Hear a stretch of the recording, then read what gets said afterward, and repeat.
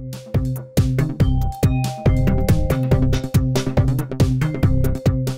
El programa de resultados electorales preliminares del Instituto Electoral de Quintana Roo es una herramienta segura y confiable que será utilizada por sexta ocasión en este proceso local ordinario 2017-2018, donde se habrán de elegir o reelegir a los integrantes de los 11 ayuntamientos en el estado. Con resultados exitosos, el PREP nuevamente pondrá a prueba su eficacia.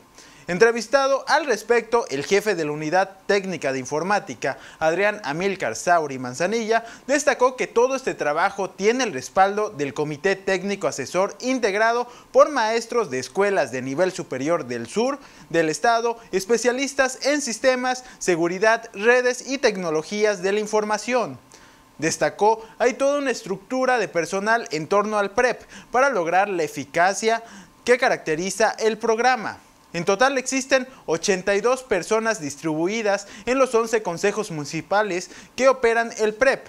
La presentación de resultados al Consejo General iniciará a las 20 horas. La emisión estará controlada por un equipo de consulta en el cual se podrá mostrar en tiempo real sobre los avances de los resultados electorales preliminares.